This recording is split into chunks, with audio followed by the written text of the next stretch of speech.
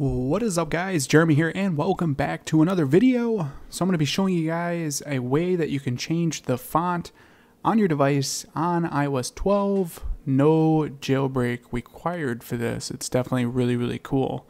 Now it is an application from the App Store. This is it right here. Um, as you can see down here, it says it is free for a limited time. So if this is something you guys want, I'd recommend to get it right now while it's free. I'll leave the the App Store link for it down in the description for those of you that do want to download it. Uh, but basically, what this application is going to do allow you to change the font on your keyboard. It does work in Instagram, the Messages app, Snapchat, WhatsApp. I've also noticed it works in other things like Twitter, stuff like that. Really cool. Um, so basically, what you're going to want to do is install the application. Go ahead and go into, into your settings here. Go to General. Go down to the keyboard go to keyboards, and then you're going to want to enable it, and it's called fonts. To do that, you just click on edit, and you'll just add it from there, or add keyboard rather, and then you just add fonts when you guys see it.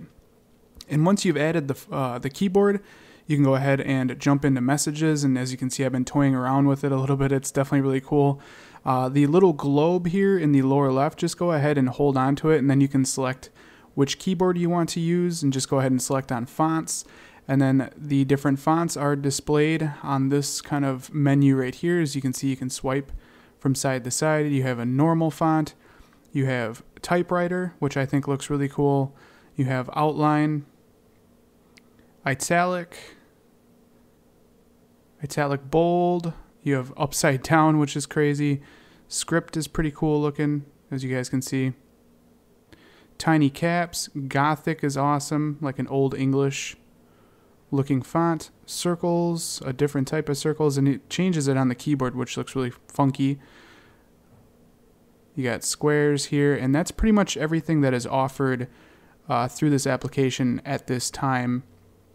Uh, but like I said, it's really cool that you can actually change the font. Um, and as you send these, it actually changes it for whoever is viewing them as well, which is really cool.